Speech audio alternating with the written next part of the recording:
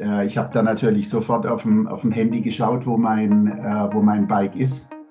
Ohne den Bike-Tracks wäre mein Bike jetzt äh, irgendwo in, in, den französischen Wäldern. Äh, aber es war natürlich schon ein tolles Gefühl.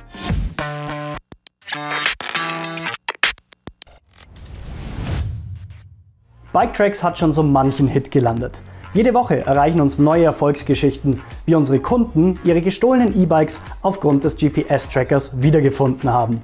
Höchste Zeit, mit diesen Leuten zu sprechen.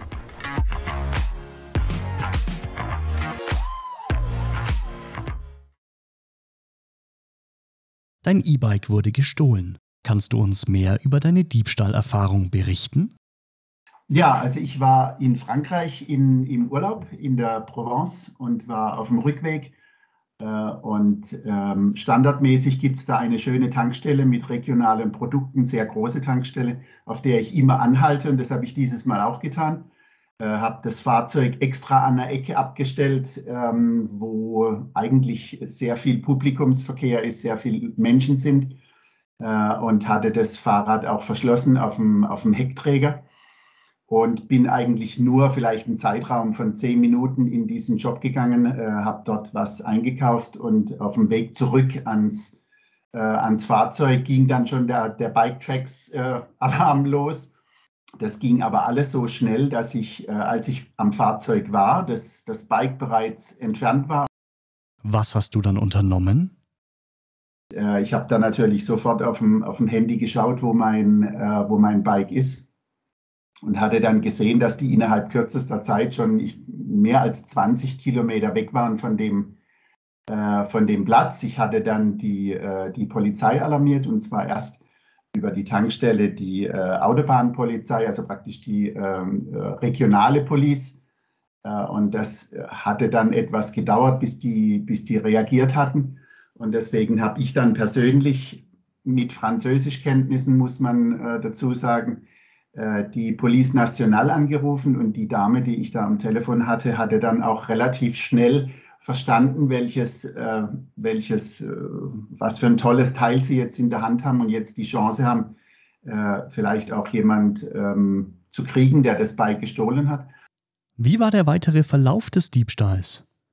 Und nachdem ich denen erklärt habe, wie das funktioniert, äh, haben wir letztendlich oder hat die Dame von der Police Nationale mit äh, zwei verschiedenen Departements, durch die die zwischenzeitlich gefahren sind, mit der dortigen regionalen äh, Polizei telefoniert. Und es war ganz witzig, ähm, weil die dann immer sagen konnten, er hatte mein Handy, der, der ähm, Wachtmeister, und sagte dann immer, jetzt kommen Sie in zwei Minuten da und dahin, in einer Minute sind Sie wahrscheinlich da und da. Ja, und äh, das Ganze ging dann, äh, nachdem wohl so auch so ein bisschen der Jagdinstinkt der Polizei geweckt war, ähm, hatte das dann vielleicht eine halbe Stunde gedauert, halbe Stunde, dreiviertel Stunde. Und äh, dann kam also die stolze Erfolgsmeldung von der Polizei, wir haben ihn und wir haben ihr Fahrrad ähm, ungeschädigt äh, auch wieder gefunden. Was war das für ein Gefühl, als du dein E-Bike wiederbekommen hast? Äh, gut, also ich war bei der Festnahme selbst natürlich nicht mit dabei. Wie gesagt, das war äh, eine ganze Ecke weg von dem äh, Standpunkt von dieser äh, Tankstelle. Das waren, waren einige Kilometer weiter nördlich, wo die Festnahme stattfand.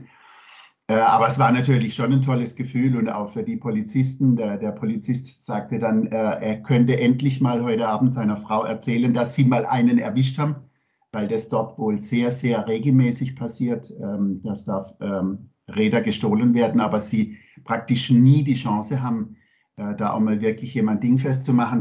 Inwieweit hat der Biketracks GPS-Tracker zur Aufklärung beigetragen?